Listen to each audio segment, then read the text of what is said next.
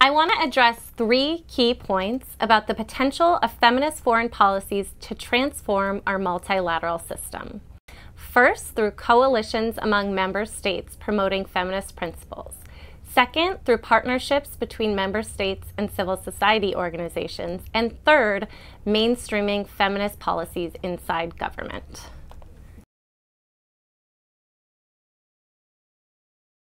As we approach the Summit of the Future, I see the growth of feminist foreign policies and the promotion of feminist principles as tools to transform the multilateral system. We cannot forget the call in the new Agenda for Peace to dismantle patriarchal power structures, and feminist foreign policies can be tools to help us at least examine those structures.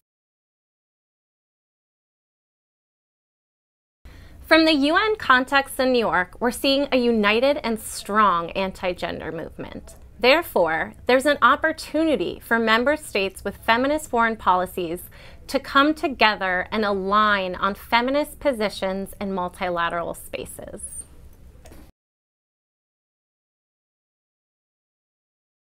Anti-gender movements are taking ownership of the concept of family and using it to signify a narrow understanding of kinship, one that is heterosexual and patriarchal and that limits women's roles to the household. States with feminist foreign policies can engage as a coalition in these dialogues and promote more inclusive and feminist visions of family.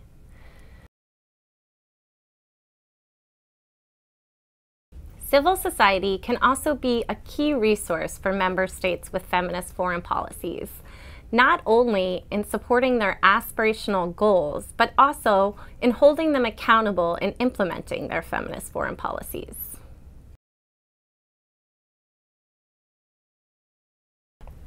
So often, language around gender is the negotiating chip that gets sacrificed but states with feminist foreign policies, or those that espouse feminist principles, have to keep feminist principles as a priority. Recently, the Doha 3 negotiations on Afghanistan occurred. Afghan women were excluded, and human rights were not on the agenda in the negotiations with the Taliban. Member states with feminist foreign policy must work together to prevent this from happening in the future. Feminist foreign policies can bring hope to a struggling multilateral system, but this will take commitment, focus, and courage.